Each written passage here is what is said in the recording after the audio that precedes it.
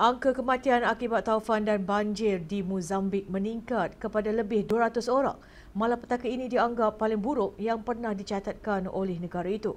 Menurut Pertubuhan Bangsa Bersatu, lebih 2.6 juta penduduk terjejas akibat banjir yang melanda Tenggara Afrika termasuk Zimbabwe dan Mozambik.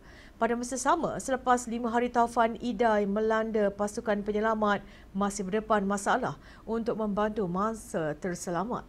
Kebanyakan mereka terperangkap di kawasan pedalaman dan terpencil selain masalah jalan raya yang rosak, bangunan runtuh dan perkampungan digenangi banjir.